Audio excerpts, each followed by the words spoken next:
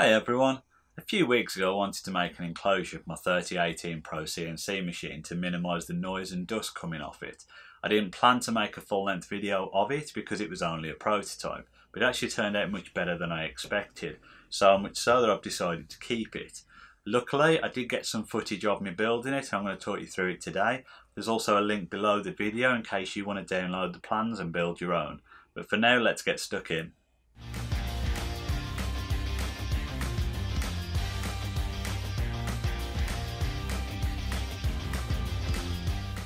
The first thing to do is to take a look at the plans.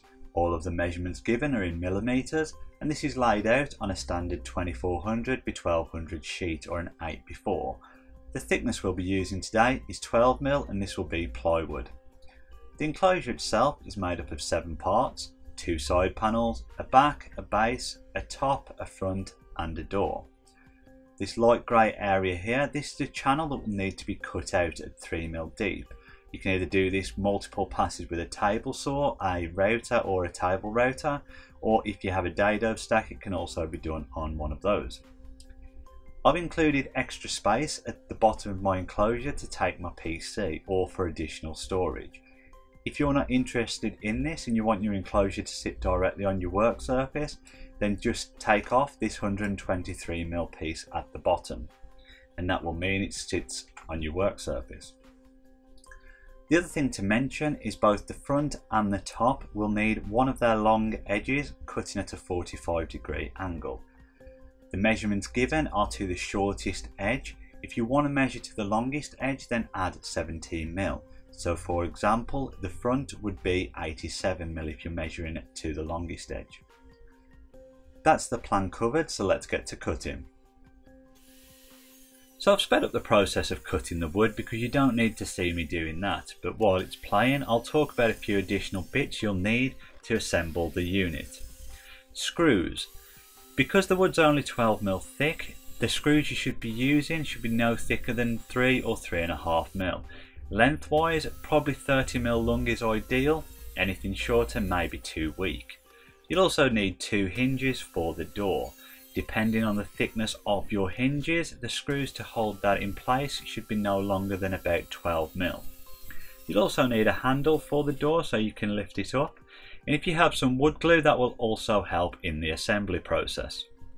If you want something to put on the base of the unit then either felt pads will be ideal or a bit of sticky cork.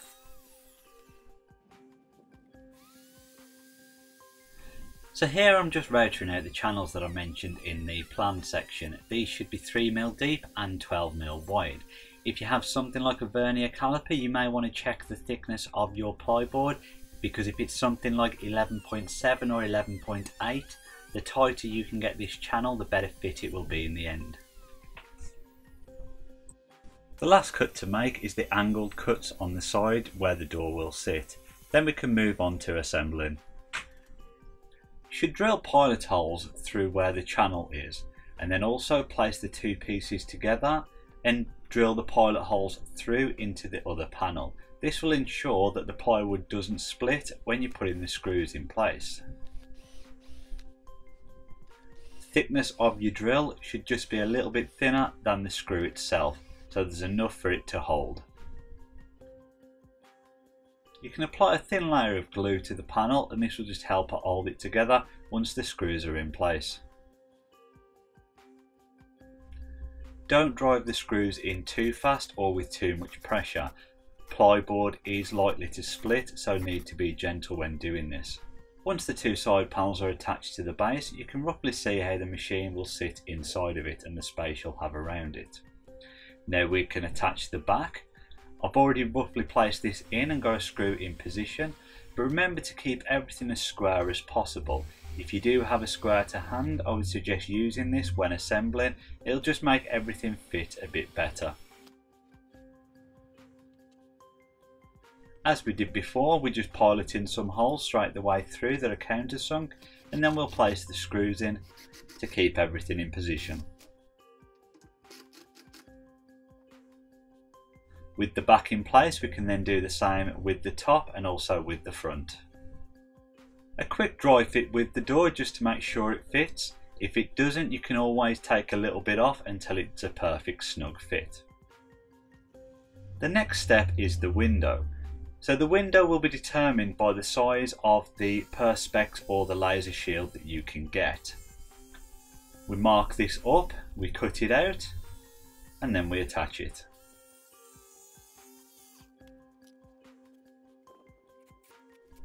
With the window cut out, we can now secure the perspex in place and this gives us the window to be able to view the CNC machine while it's working.